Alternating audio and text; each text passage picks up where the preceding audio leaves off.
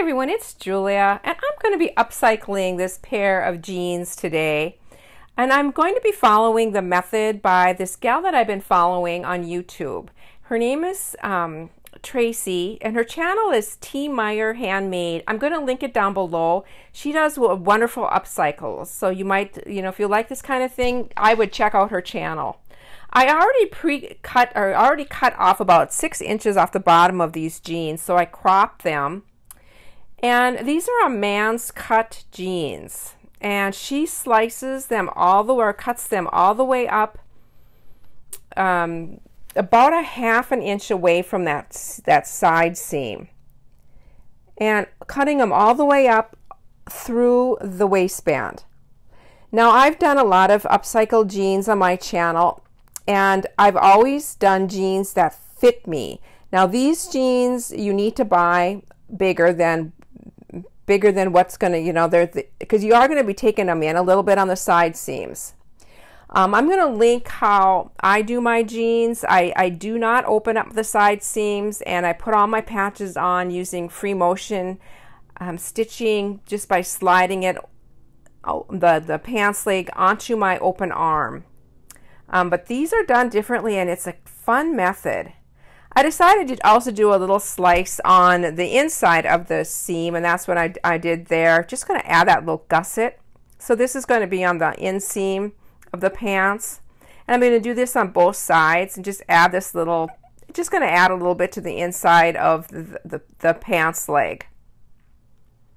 So I'm going to do that first before I do any of the patches that I'll be, be creating. I'm going to be just stitching this on both sides. Added a little piece of lace on the bottom of there too and you can see it there. I did end up turning that lace up. I didn't like it extending beyond um, um, the hem. So I turned that up um, at the end here. But right now I'm just stitching pretty close to the edge, about a quarter of an inch away.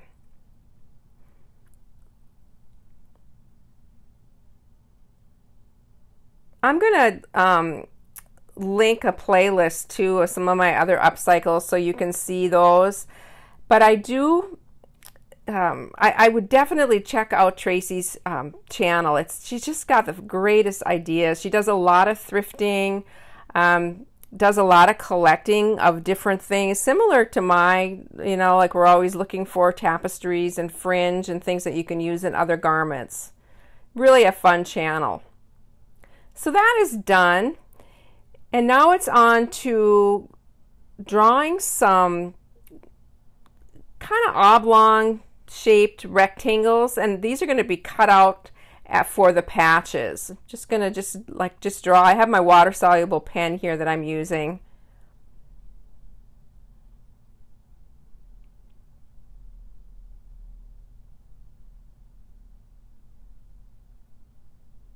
Flip it over and I'm going to add some more of those rectangles to the back side. But first I'm going to cut off the back pocket. I'm just going to cut off one. And I'm just cutting inside the, the seam. So this is just a real easy way to remove a pocket. I'm going to decorate this. Um, I also like the fact that it's not faded at all, so that is going to be a, a darker color. I do save this pocket. It'll go on another upcycle. I have a a tote that I just have denim parts on. And so I'm always getting extra little parts that I need for another project.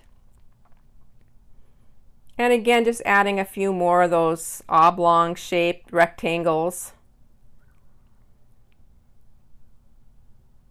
And then I'll be cutting these out. And I'm just going to cut right on that line that I, that I drew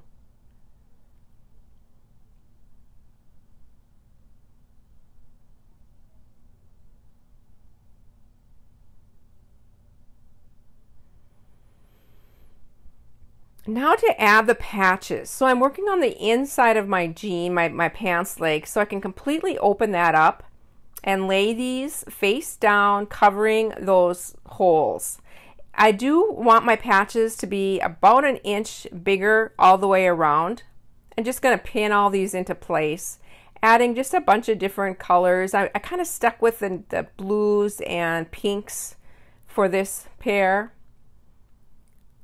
And this particular fabric has a patch look to it, so it's just really interesting to use. Just had, having to move that up just a bit. You want to make sure that it completely covers that, that hole and, and it extends about an inch all the way around. Now I'm at my sewing machine and I'm going to stitch those patches on and I stitch close to the edge. I'm using the same colored thread and this was another idea that Traci had. She uses the same colored thread as what's top stitched on the jeans. And this jean has uh, camel colored, I would say, and so that is the color that I'm using on both the bobbin and the top.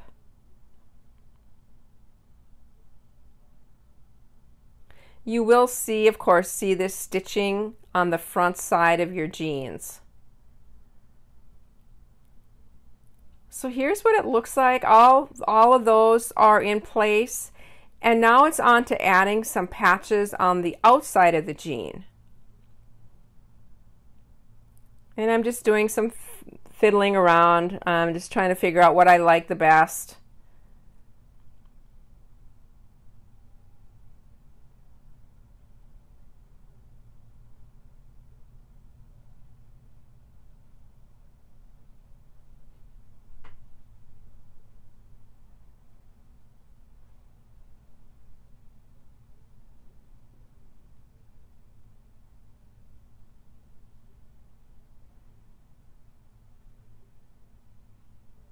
And then of course doing the same for the back.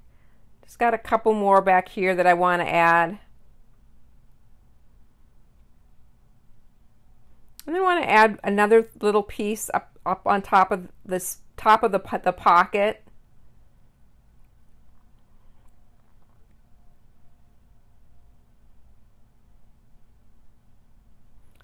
And back to my sewing machine, and I don't show that, but I did go ahead and just close to the edge, stitch all those into place, and added a little bit of lace. Now it's so easy to stitch these patches on when you can open up this the, the leg. Um, and now I've got this very damaged piece of linen. It's, it's an old embroidery. Um, like I said, it's very damaged, and I'm just going to cut around some of these little shapes even the rusty old needle was in it was was left on this. Um, and you can you could see where the the metal hoop was left on it too. So someone must have started it and then put it away. I mean it's not finished in the center of these flowers so I'm going to just add a little piece of uh, just a little bit of a lace embellishment to those. But I really love that bird and I'm going to add that. And then just place these where I think they're going to look look kind of kind of I mean grounded. You don't want them just floating around. But I thought this one looked really cute there.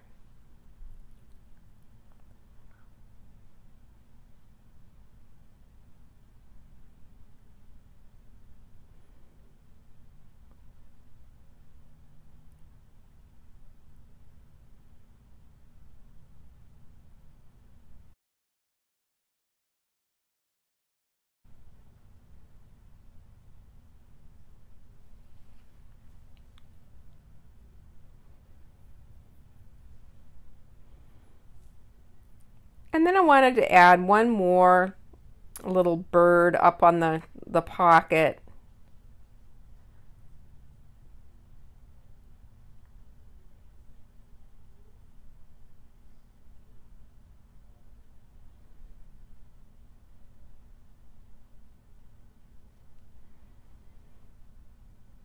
Back to my sewing machine, and I'm just going to edge stitch these on.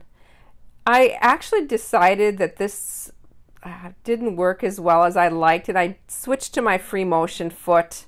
Um, I don't show that, but I just had to turn it so many times. And with the free, free motion foot, you don't have to do that. But all my little embellishments are on, and now it's to getting these side seams um, back, sewn back together. Now there's definitely this is a trick because there's some areas that are, are quite bulky. I did have to cut a little bit of that pocket away from that seam. Um, and then she suggested even on just a couple of those seams up by the waistband you're going through several layers. So use a jean needle or a leather needle. And also she actually hammers some of her seams and smashes them flatter. It just kind of breaks up the seam a little bit. And so I tried that. I I show you here. I got I just have this little hammer and a little uh, a little um, mat, and I just took it outside on the concrete and I smashed it a few times.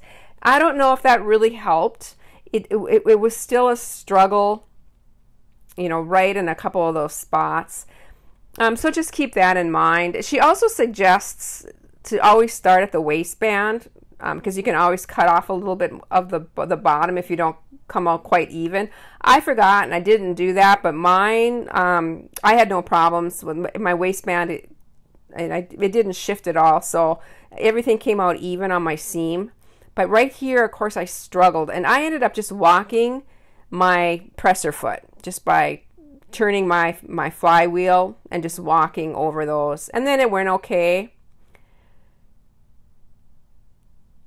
Um, but again, on some of my jeans that I that I have upcycled in the past, I did not open up this the seam. And I, and I just went through um, the pants leg to attach the, the patches.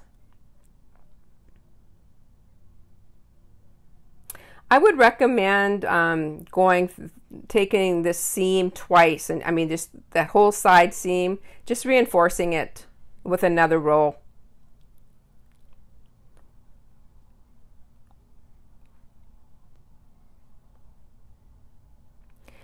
And now I want to wash these. And so all that fraying will start. So this side seam is sewn so that the raw sides are out. And when you wash it, it just has the neatest fringe to it, the neatest look to it. Um, so I'm going to wash these and then I'm also going to add two more buttons here. And this was another idea that I got from Traci's video. Love love this idea where you just and then you can adjust the waistband slightly.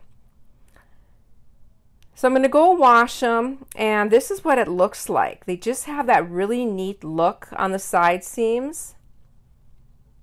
And again, there's two more buttons on there so you can move it over if you need to. I just thought that was a great idea.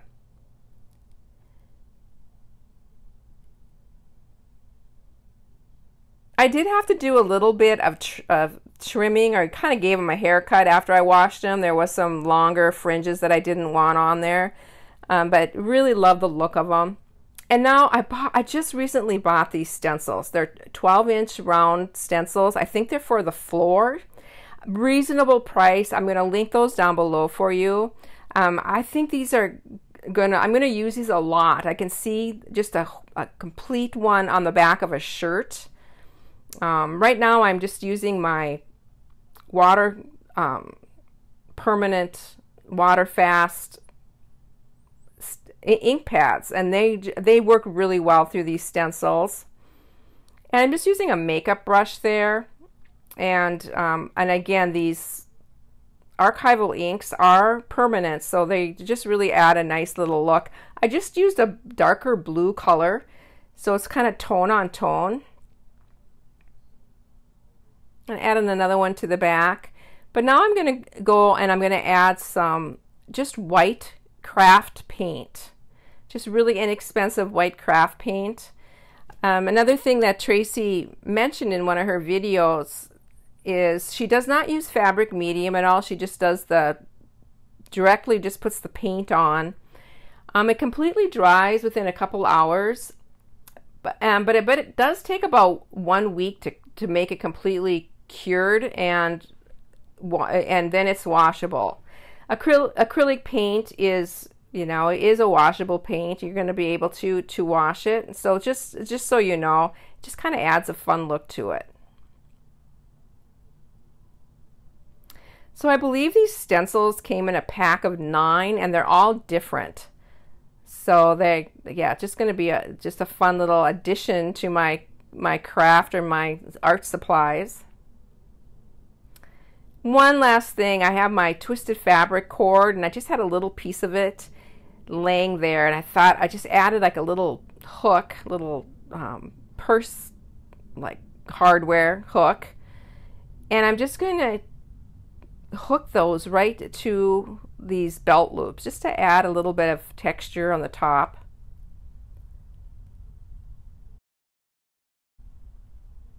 Bye everybody. I'm going to share some pictures at the end. I hope you enjoy this video and I hope you have a chance to create this week. Bye for now.